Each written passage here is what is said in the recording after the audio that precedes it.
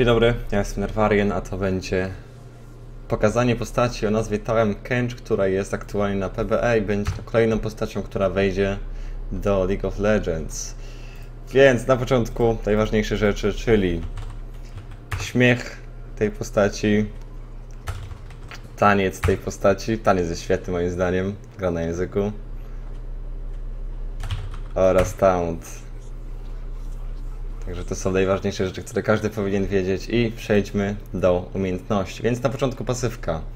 Każde e, basic ataki oraz nasze umiejętności będą nakładały staki, które będą nam dawały później różne e, wzmocnienia gdyby naszych umiejętności, więc e, jak mówię, basic ataki nakładają oraz nasze Q oraz nasze W, to zaraz pokażemy i mamy takie trzy staki ryby, która sygnalizuje to, że jest wystakowany gościu.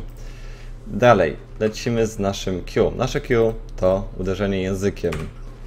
Jeśli uderzymy gościa, zadajemy obrażenia magiczne oraz spowalniamy na 2 sekundy. Spowalniamy go na 2 sekundy. Tak to działa. Jeśli mamy 3 staki na gościu, czyli naszą pasywkę, to wtedy nasze Q będzie go stunować na 1,5 sekundy na ostatnim poziomie. Tak działa nasze Q. I tutaj jeszcze jest taka jedna sztuczka. I oczywiście nie ma minionów. Czekajcie, czy musimy przejąć tutaj tego. Portal. Ale to już, to już za chwilę. Chociaż nie, i tak muszę pokazać do W. Także jest taka jedna sztuczka, która mm, bierzemy nasz język i jeśli pod, podczas lotu, że tak powiem, języka użyjemy W, to wtedy za pomocą języka możemy zjeść miniona i zjadamy go. To już to już jest nasza umiejętność W. Także przechodzimy do W. Eee, możemy zjeść sobie miniona, tak jak już, jak już przed chwilą pokazałem, i go wypluć. Zadajemy wtedy obrażenia magiczne oraz będą one AOE, czyli tam kilka, kilka postaci może z tego oberwać.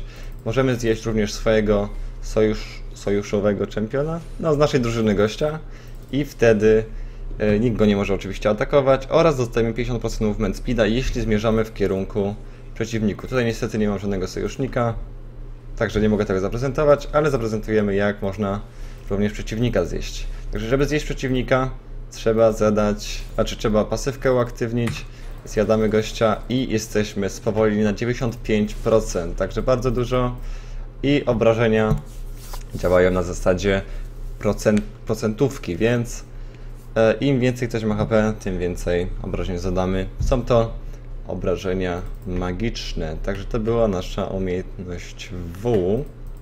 Dalej, przechodzimy do naszego E. Pasywnie, jeśli, się, jeśli autoatakujemy gościa, dostaje on taką szarą, szare, szare HP, nie wiem jak to nazwać. I teraz tak, jeśli przerwiemy walkę, odejdziemy, to procentowo będziemy się leczyć. Czyli coś na zasadzie Rexa, bym powiedział, może trochę. I druga opcja, jeśli się bijemy, to po chwili z tego Grey HP, z tego szarego paska HP możemy włączyć tarczę, która trwa przez 6 sekund. Więc całkiem, całkiem ciekawa opcja. No i na koniec nasze ulti, które jest bardzo ciekawe. Pasywnie Będziemy zadawać dodatkowe obrażenia na naszych basic atakach, czyli oczywiście autoatakach zwyczajnych. Tutaj widzicie 12 obrażeń magicznych oraz na naszych damaging spellach, czyli na naszym Q oraz na naszym W. Dodatkowe obrażenia, które będą e, zależne od naszego bonus HP. Więc tak działa pasywnie oraz e, ulti aktywnie działa na zasadzie teleportacji i działa to tak, że wybieramy sobie oczywiście mm, miejsce docelowe i teraz tak, przez 15 sekund się jak gdyby ładujemy. Podczas 15 sekund nasz sojusznik może na nas kliknąć i wtedy przenosimy się we dwójkę i teleportacja. Także tak to, tak to działa. I od razu jak gdyby, od razu jak wskoczy w nas, czy jakkolwiek to nazwać, nasz sojusznik możemy się przenosić. Więc to jest tyle co do umiejętności. Wydaje mi się, że będzie grany na suporcie i ewentualnie na na dżungli. Takie mam wrażenie, że ktoś może go w dżungli sobie potestować. Zobaczymy, co z tej postaci wyjdzie. Zapowiada się ciekawie, tylko bardzo dziwna jest nazwa, Tam Kench, jak dla mnie, no ale Riot wymyślił. Także dziękuję za oglądanie. Dajcie znać, co myślicie o tej postaci, czy będzie fajna, czy nie fajna. I tyle. Dziękuję za oglądanie.